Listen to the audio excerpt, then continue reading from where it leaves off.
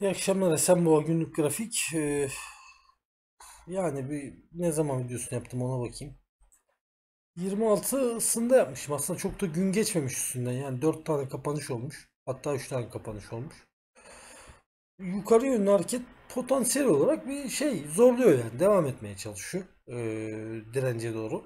Yani burada biraz geniş bakmak lazım. Bu volatilite çok yüksek. Karar vermek çok zordur. Volatilitenin bu kadar yüksek olduğu dönemlerde onu söyleyeyim. Ee, 35 kopuyorsa ona dikkat etmek lazım. 35 koptuğu zaman çünkü artık 20 ortalamanın da altına giren bir hareket görüyoruz orada. Ben sevmem aylık ortalamaların kırılmasını. Yani 20, 21, 22'nin kırılması çok hoşuma gitmez. Kendi adıma söylüyorum. Orada aşağı yönlü hareketin bir miktar daha devam edeceğini düşünüyorum.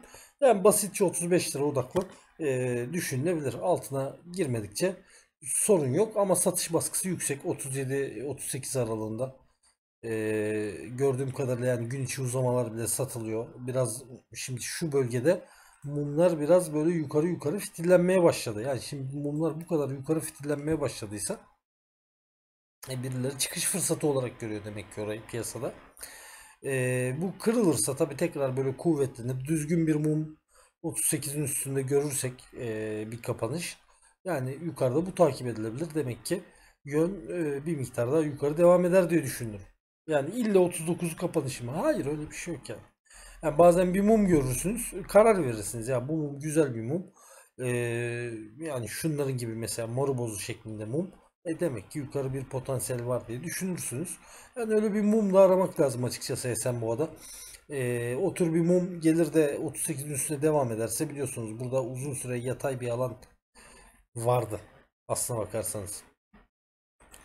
Yani takipte ettik. E, bu yatay alan ortalama 27-28 bandı. Yukarıda 37 alanı 10 liralık bir alanda.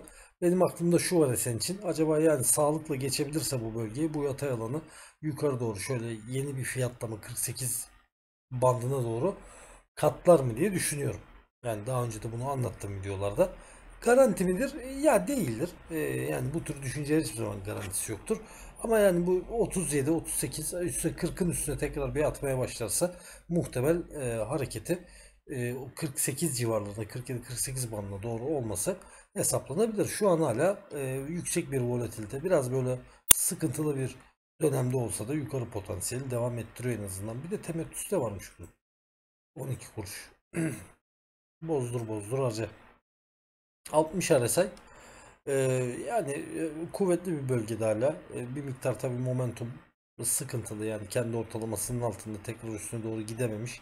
O açıdan e, tabi çok olumlu değil. 3 gündür de MACD sat vermiş ama bir önemi var mı diyorsanız her zaman söylüyorum. Yani destek kırılmadıktan sonra e, göstergenin bir önemi yok arkadaşlar. Esenboğa için e, benim söyleyebileceğim çok daha başka bir şey yok. Devam etmeye çalışıyor. Bu da dolar bazlı grafiği. Yani arz e, nereden olmuş burada? Dolar bazlı baktığımız zaman işte 1.18 işte 1.10 civarlarından aşağı yukarı 1.08 civarlarından olmuş. O açıdan hala e, tabii çok karlı bir bölgede. Yani arzına katılıp bilmiyorum tabii kimseye bir şey düşmemiştir de burada asıl maliyetlenme 2.30 civarı. E, düşünürseniz yani e, orada %100 TL olarak vermiş.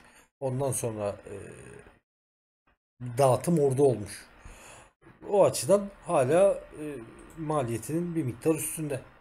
E, iyi en azından o iyi bir şey. Yani e, arz olup da dolar bazlı olarak %60 kaybettiren bu kadar senet varken TL bazlı neredeymişiz? Ya yani arzı e, 9 8 gerçi şey var ama 8.5 civarlarında falan herhalde. Söyleyebileceğim benim başka bir şey yok. Umuyorum yoluna devam eder. Herkese iyi akşamlar.